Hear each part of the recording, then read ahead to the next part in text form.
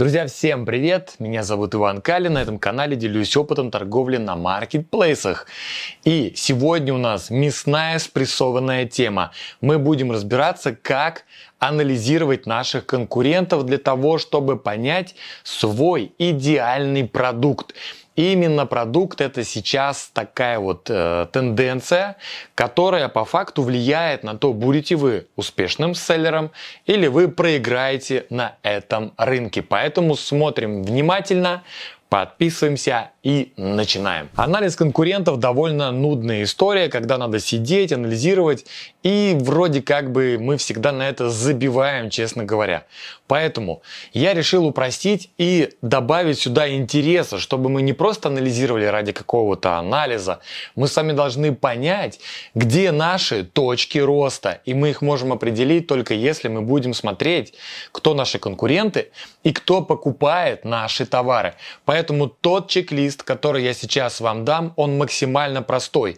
Мы не будем смотреть, кто там по возрасту, мальчики, девочки покупают, социодемографические показатели. Нам не интересно, это уже давно устарело и умерло. И сейчас работают другие правила, которыми я хочу с вами поделиться.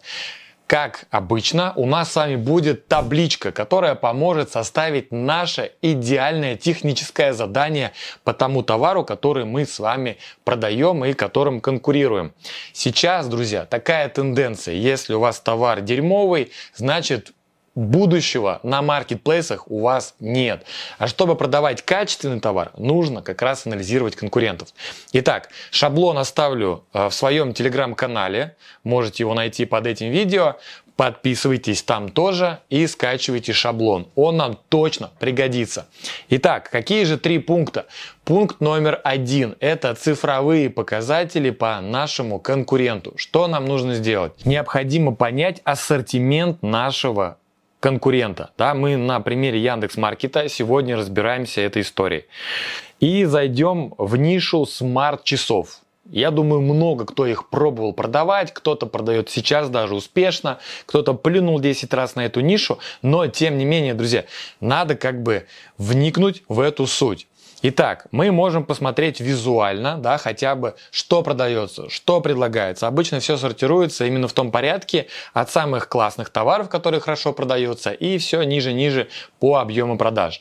Но мы на этом никогда не останавливаемся. Мы с вами идем в сервис аналитики и по хедлайнерам, по тем товарам, которые самые успешные в этом ассортименте, а мы взяли только одного конкурента, но нам надо минимум 5-10 таким же образом проанализировать. Что мы делаем? Мы смотрим зависимость, да, как влияет цена на объем продаж. Цену повысили, продажи упали и так далее. Цену начинаем снижать, и объем продаж начинает расти. Как цена влияет в этом товаре на объем продаж? Сервис MoneyPlace, как бы это мой рекомендацион, я им всегда пользуюсь. Итак, э, что еще мы можем посмотреть? Нам очень важно, как часто подсортировывается товар, на каких складах он находится, куда его отправляют. И здесь мы тоже можем это посмотреть, чтобы планировать свои логистические цепочки. Опять же, смотрим на будущее. Если мы будем работать с Китаем, это жизненно необходимо.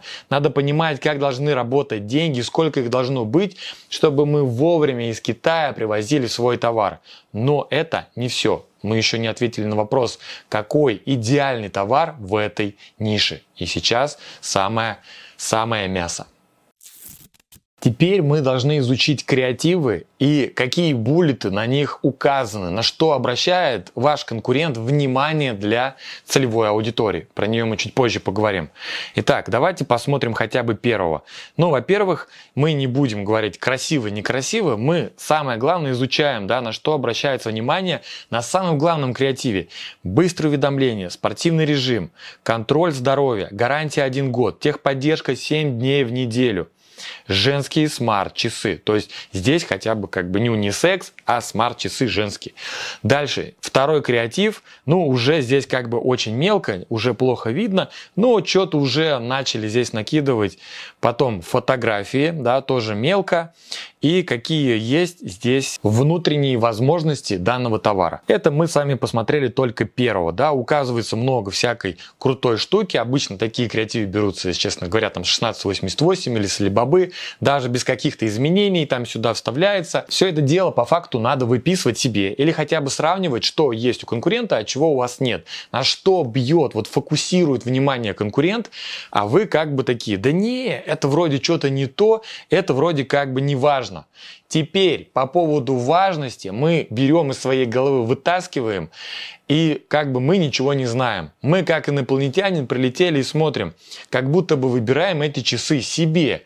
Попробуйте на самом деле пройти вот этот э, путь клиента, чтобы понять, да, вот прям побыть, так скажем, в шкуре клиента и почувствовать, да, свои внутренние эмоции – что, блин, что-то не хватает, а вроде бы то или не то. Ну, сто процентов вы с этим сталкивались. Кто-то из вас изучает вот характеристики, прям каждую смотрит. Кто-то наоборот, эти характеристики не так важны, смотрит, как это все упаковано, какая подача а, представляете, как вы будете носить эти часы, допустим, и как, вы, как на вас будут смотреть люди. Это, опять же, разные типы вашей целевой аудитории. Подумайте об этом, да, подумайте, на кого больше это ориентировано. Если это девушки, вряд ли они смотрят и изучают все эти характеристики. Им скорее надо как бы базово три приложения каких-то, какие-то основные функции и как они себя будут чувствовать, да, если там может быть ремешки дополнительные. Но я забегаю вперед на самом деле. Мы с вами изучили конкурента, давайте перейдем ко второму шагу. Второй шаг – это как раз изучение целевой аудитории как она хочет э, видеть себя с этим товаром. Что для этого нужно? Изучить отзывы, посмотреть вопросы.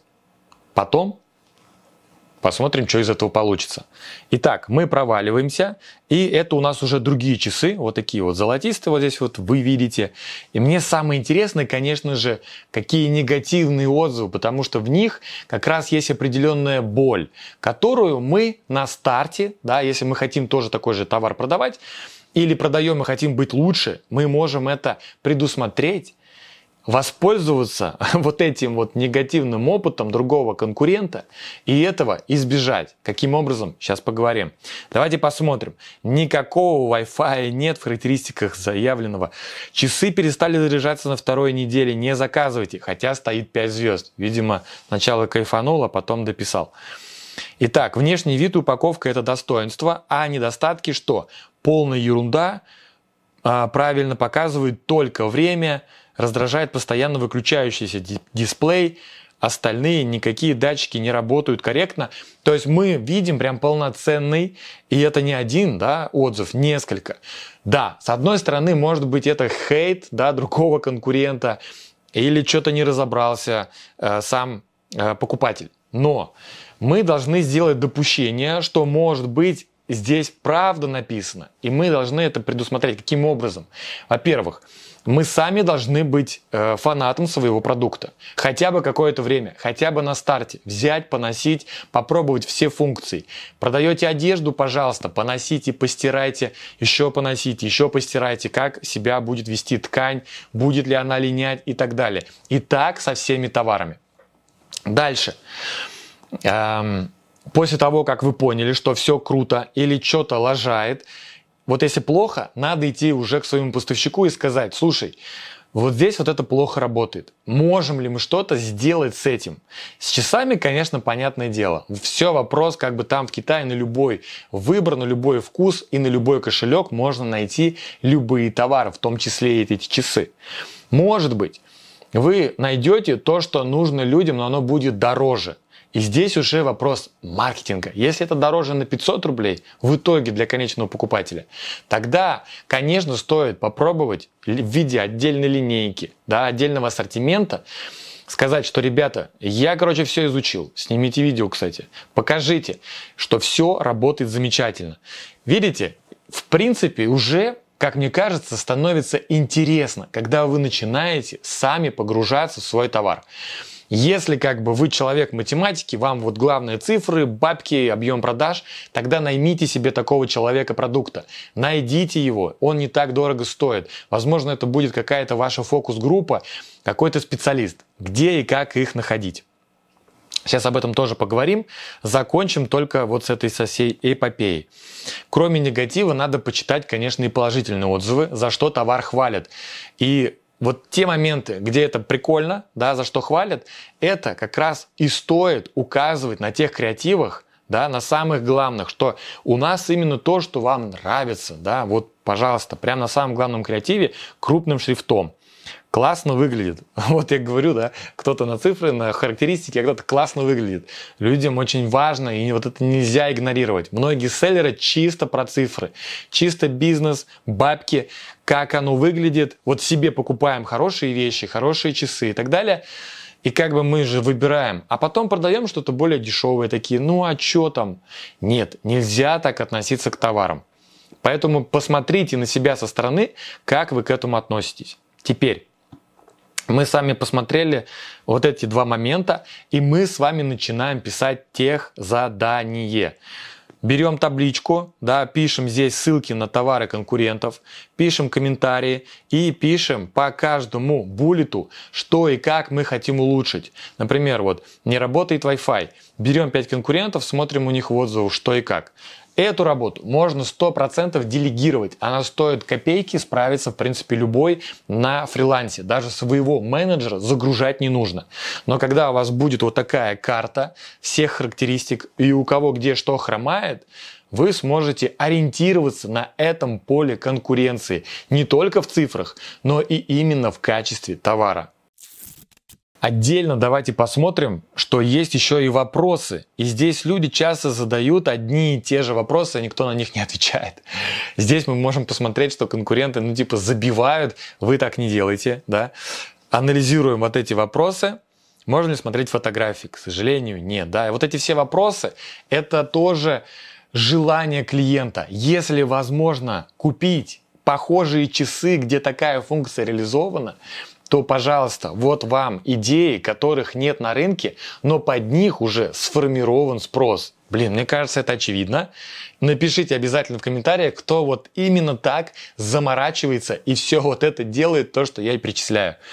Вам просто Оскар и памятник надо поставить при жизни, чтобы прям суперселлер. И вот хотелось бы, конечно, узнать, как у вас еще и с продажами. Потому что товар может быть классный, но вы его не продвигаете. Еще один очень крутой инструмент, да, который называется Яндекс Вордстат. Мы с вами посмотрели э, отзывы, реакции, эмоции. Теперь нам надо залезть в голову к клиенту и посмотреть, как он мыслит, что он ищет, какие у него словосочетания, в какие слова он играет. Что для этого нужно? Кстати, обратите внимание, кайфовый Яндекс Форстат они обновили. Просто это невероятно круто. Наконец-то ну, я очень искренне рад. Э, что я хочу показать? Есть вот такая тема, топ запросов. Я взял запрос Smart Watch Ultra. Это типа э, такой официальный э, копия Apple да, ну, как бы все знают, что это реплика, но она так вот продается, у нее есть 8 с половиной тысяч запросов за месяц.